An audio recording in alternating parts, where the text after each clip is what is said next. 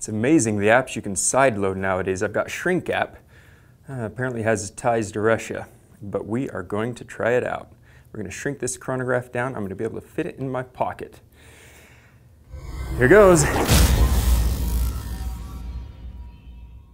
Ah! Ah, made it huge.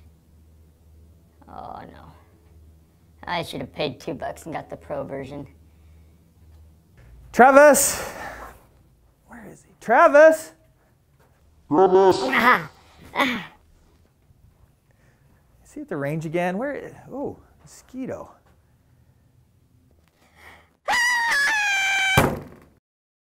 Got it. This is cool.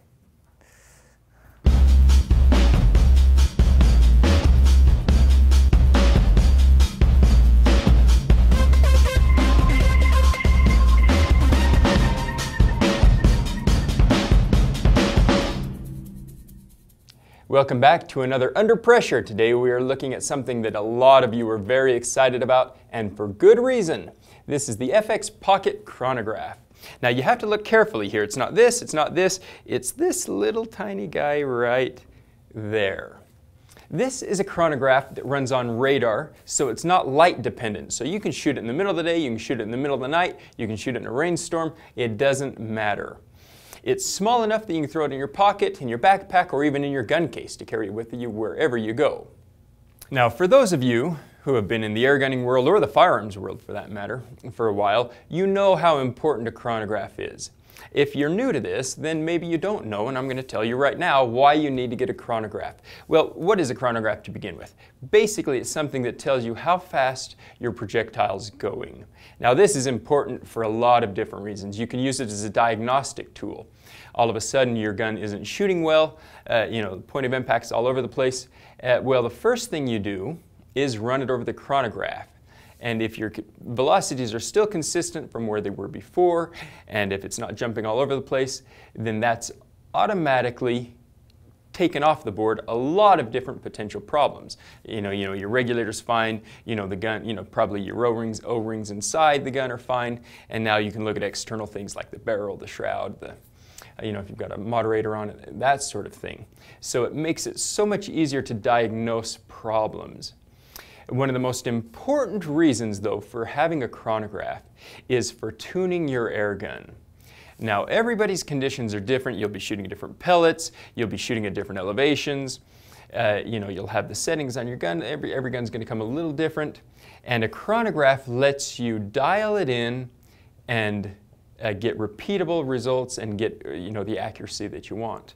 Uh, you know we pretty much know certain pellets are going to shoot best in, in different uh, velocity ranges and a chronograph just lets you dial it right in there. It also helps you uh, get the most consistency out of your air gun meaning you can shrink the spread between the minimum and the maximum velocity of your shots. It's just absolutely fundamental. You, you know, if you're just going out in your backyard and knocking down some tin cans or, or knocking down the occasional starling, you know, you, you can get away without using a chronograph for quite a while. But as soon as you decide to get serious, as soon as you get, you know, an air gun or, uh, you know, two or three, you, you just need a chronograph. There's just no way around it. You've got to bite the bullet and, and get one. Now, what we've been limited to in the past are traditional chronographs uh, like this one. Now the way a chronograph like this works is you have uh, two screens basically. You have, you have a, a, screen in here and a screen in here. You have light that shines into each one of those off of these panels here. Uh, or you can use sunlight if you're using a different sort of chronograph. And uh, as the projectile passes through this one, it, it, registers here, and then as it passes through this one, it registers there. It tells the, you know, the distance between them, how fast it travels that distance, and it figures out how fast the pellet's going. Now for this to work, the, the screens have to be set up, you know, a decent space apart. The farther apart, the better. That means that it's longer and uh, bigger and heavier and less portable. I mean, I, I picked this one up and all of a sudden you can see, you know, the legs start coming out. It's just not portable at all. Now that's fine if you have an indoor range or uh, you know, or something like that, where you don't need to carry this around. But the vast majority of us are going to be doing our tuning outside, you know, at our shooting range or, you know, in the backyard or, you know, wherever we go to shoot. And that's why something like this is so important. I know, you know, I've just been you know, so frustrated so many times. Oh, I've got to carry my chronograph. I've got to take it apart. I've got to bundle it together. I've got to put it back together wherever we go. And uh, with this, this does everything that this does right here, but in a fraction of the size. It just runs on, you know, three AAA batteries, easy to replace, easy to keep going, and it's just so stinking convenient. Now there are other uh, radar chronographs on the market. The LabRadar is, is, is, is the most well-known. This one was developed when Frederick Axelsson, you know, the owner of, and uh, genius behind FX air airguns, uh, saw a similar unit that was being used uh, for airsoft and, uh, and, and, paintball, that sort of thing. It had a max reading of about 500 feet per second. Um, but he contacted you know, the, the, the, person who was building them. And they worked together and they redesigned all the internals and they've got it up. So now you have a chronograph that will read up to about 1,300 feet per second. So this will cover anything from your very slowest projectiles like, like a Nerf gun or really slow paintball guns, uh, you know, all the way up to a, you know, a, I mean a rimfire. You know, most of your rimfire, rimfires will work with this. So uh, the chronograph here pairs with an app. Everything, all of the intelligence of the, of the thing is on the app. And I've heard people complain about this, but that, uh, to me that just seems so silly. I mean, you almost always have your phone with you to begin with. And your phone has far more computing power and far more potential than anything you could put inside of the chronograph. And so for me, uh, that's, that's a, a, wonderful way to go. And because uh, the brains of this thing is an app, it can be continually updated. And in fact, you know, we've got an update coming soon, and there will be further updates. You know, uh, you know, we probably will be able to get different voice readings, which is something I'm excited about. I'm kind of pushing for either Giles of the Airgun Gear Show's voice or that of uh, Gal Gadot. Uh, you know, either one of those two, those will be my top picks. You guys can vote uh, for your top voices in the comments below, and FX will see those and, and, take those into account. But make sure you vote for one of those two, please. Uh, the other thing is, is that the functionality is, uh, you know, you know, the things that the app can do and record and everything else is, is really unlimited uh, by any technological constraints because, uh, because it resides on a smartphone. Now, something that this doesn't do that a LabRadar, for example, does do is calculate uh, you know, your ballistic coefficient. LabRadar has the capability to track that pellet you know, well downrange, you know, up to 100 yards or, or, or more, and, uh, and give you the ballistic coefficient along that. This one measures it at a certain point, and so you don't get that. But otherwise, I mean, it gives you, you know, I mean, it gives you everything that a chronograph does, but in an incredibly small, compact form here. Okay, now before I open up the app, I'm going to get the chronograph positioned correctly in front of the gun, and this is where it goes. Now this, you might have to move it a little forward, a little bit backwards, but, but for virtually every gun that we tested, uh, this position worked fine, except for the Texan. And the Texan gives you so much, uh, you know, muzzle blast that we had to raise, you know, we had to drop the chronograph down a little bit and move it about there, and then it read it just fine.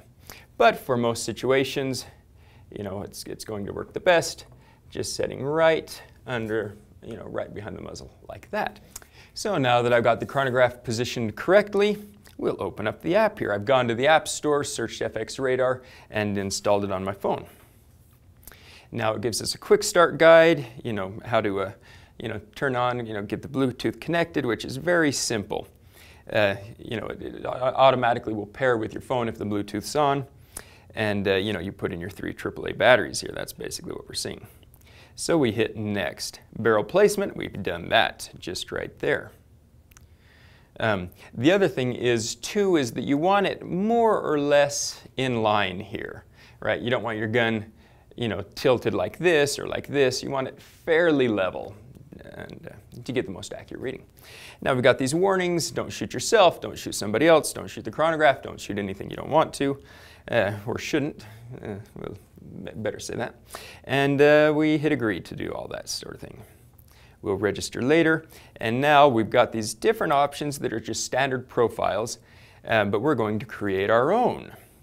So let's go to Add Profile.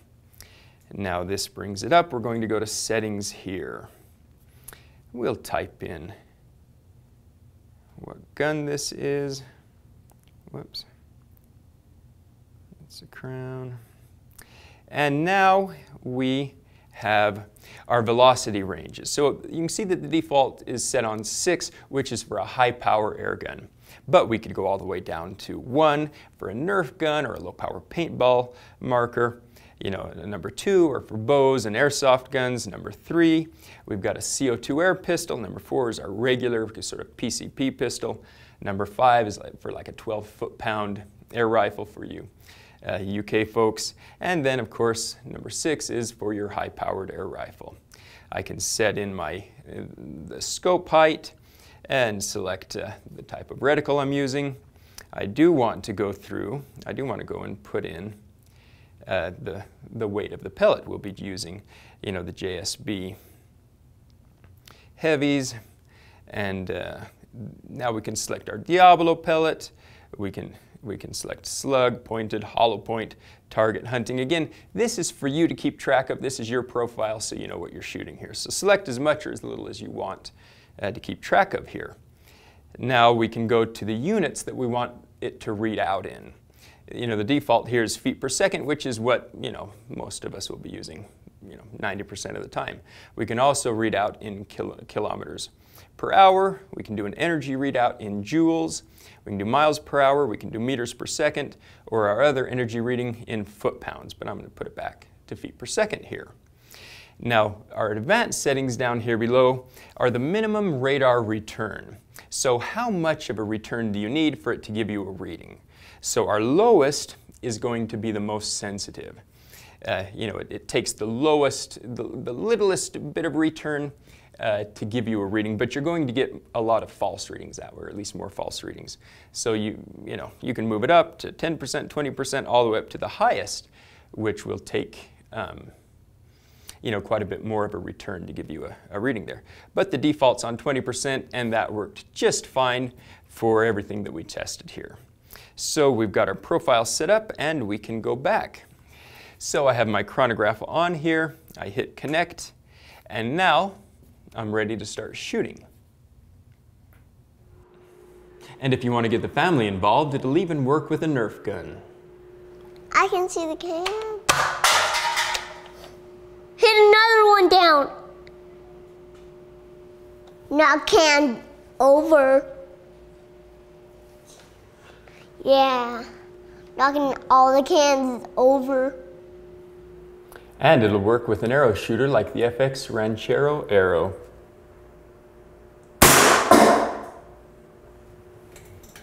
And it'll work for a crossbow, even a tiny little crossbow like this one.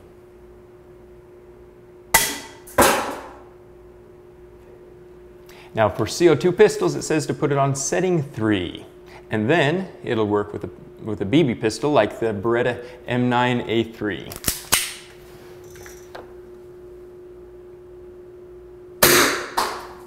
Hmm.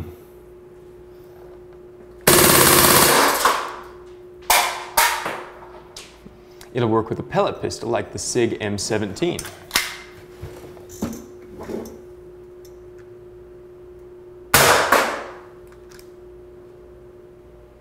On setting level 4, it'll work with my Beeman R7.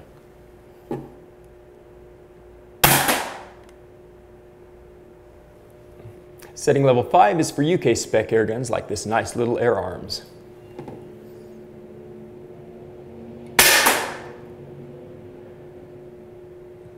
Put it on level 6 to shoot high power air guns like this FX Streamline. Or the Air Force Texan.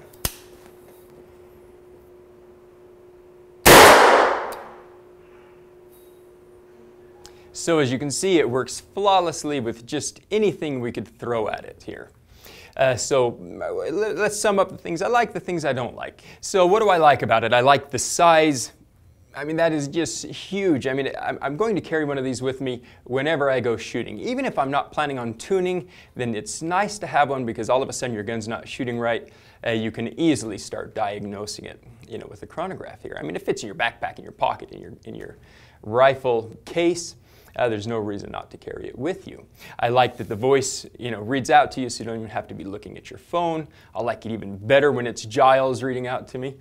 Uh, you know, if Giles is reading out, it would be nice that, you know, when you see the velocity start dropping off, that he starts uh, insulting you and telling you, uh, you know, you little twit, you need to refill your air tank, that sort of thing. The fact that it runs off of an app that can be continually updated and get all the functionality that you want, you know, I love that. Are there things I don't like about it? I mean, I'm a little hesitant to go into the things I don't like because they're all based on, on the app, which I know is getting updated you know, very quickly, and maybe by the time you see this video, the, all of the th these things will be addressed. Um, I mean, the app works, works really well. It's got a clean interface, but uh, there are some things I don't like about it. It doesn't uh, save things on the app. So you've got to shoot uh, your, your, uh, you know, your string and then send it to yourself in an email or copy it into a note or something like that. Uh, you know, which isn't, a pro which isn't a really big issue, but anytime you leave the app, those, those things are gone. So even when you copy it and then take it into something else, you go back, it's, it's not there. Again, you know, just so you guys know what's up uh, when you get it, but again, I'm not worried about that at all because all of these things are going to be addressed in, in future, you know, firmware updates, which are, like I say, on the way. Uh, you know, so I'm, I'm looking forward to, you know, it saving things on the app. I'm looking forward to it giving me more calculations of extreme spread and uh, you know, all that, all that standard deviation, all that sort of thing that, that we like to see. But again, by the time you see this video, it, will probably have those things. Uh, you know, there's very little else uh, to complain about here. I mean, the thing itself works perfectly. Uh, the app is convenient and is, uh, you know, because it's a living, breathing, well, maybe not breathing, but it's a living app that, that will be changed all the time. Uh, you know, I'm not, uh, you know, I'm really excited about that.